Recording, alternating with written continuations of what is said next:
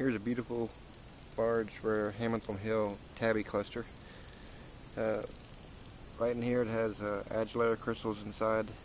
Make a little phantom inside of this point. It's a beautiful tabby chain cluster.